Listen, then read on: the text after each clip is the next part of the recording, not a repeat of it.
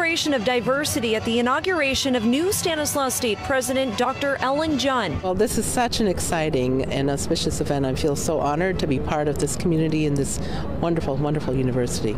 This new change, which begins today with our president of CSU, Stanislaus, Dr. Junn, we begin and we can begin a new, unimaginable embrace. Today, United States Poet Laureate Juan Felipe Herrera was among the hundreds in attendance at Fitzpatrick Arena, along with State Controller Betty Yee and Turlock Mayor Gary Soiseth, who presented President Junn with the key to the city, which represents the highest honor our great city can confer to any one person. Congratulations. In July, Dr. Junn began her position as the 11th president of Stanislaus State. The five most recent presidents of the CSU were all appointed as women.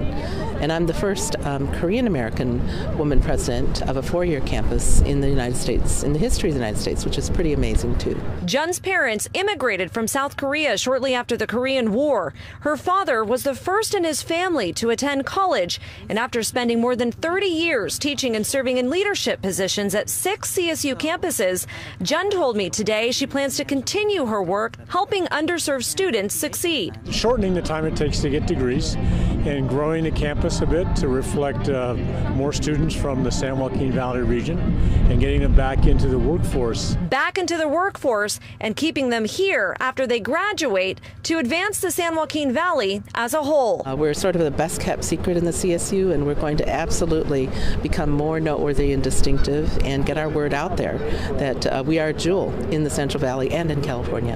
In Turlock, Linda Mumma, KCRA 3 News.